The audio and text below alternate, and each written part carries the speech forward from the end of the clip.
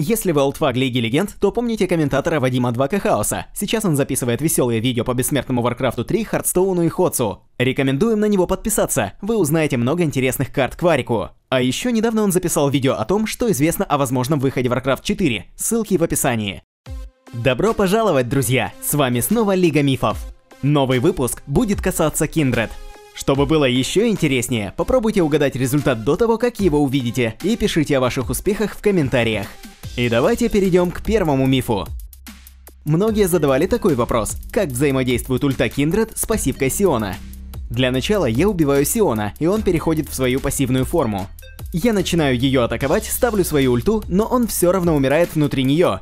Скорее всего, это из-за того, что формально он и так уже мертв. Гарантирует ли ульта Киндред то, что пассивные капли Зака не смогут умереть?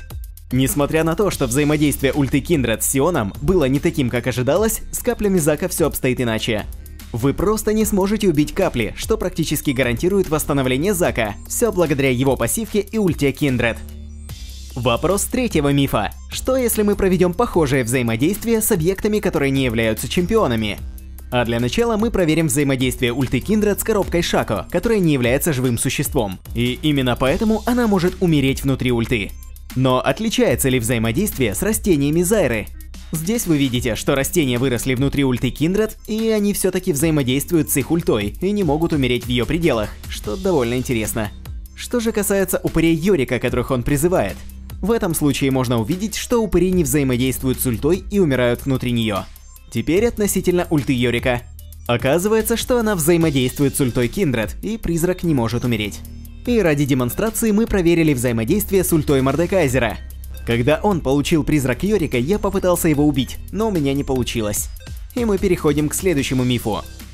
Затронет ли ульта Барда Волка, когда он находится в форме вешки с активной овечкой?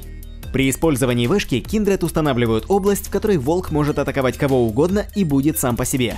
Значит ли, что ульта Барда может затронуть и Волка тоже? К сожалению, это не так. Несмотря на то, что ульта Барда затрагивает овечку, она не трогает волка, и он продолжает атаковать свою цель. Вопрос следующего мифа. Как взаимодействует ульта Киндред с поглощением Таама Кенча? Лично мне кажется, что это взаимодействие очень прикольное. Мы проверяли это следующим образом. Я опускаю здоровье Владимира практически до нуля и использую на него воспламенение, чтобы он умер от двух-трех тиков. И перед тем, как это случится, я использую ульту, и Таам Кенч сразу его проглатывает. Здесь вы можете видеть, что он не умирает от воспламенения, когда он в пределах ульты Киндред и внутри Таама Кенча.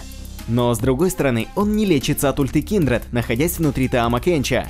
Поэтому взаимодействие работает лишь наполовину. Блокирует ли стена ветра Ясуо атаки волка внутри вешки и при проке автоатаки с ешки? Существует несколько автоатак, которые проходят сквозь стену ветра, как, например, атака Велкоза или Трэша. Просто небольшое напоминание. Давайте для начала проверим взаимодействие с Вэшкой. Как вы видите, волк с Вэшки проходит сквозь стену ветра и атакует Ясуо. Далее у нас идет Ешка, первая часть которой не может ни преодолеть стену, ни даже поставить метку.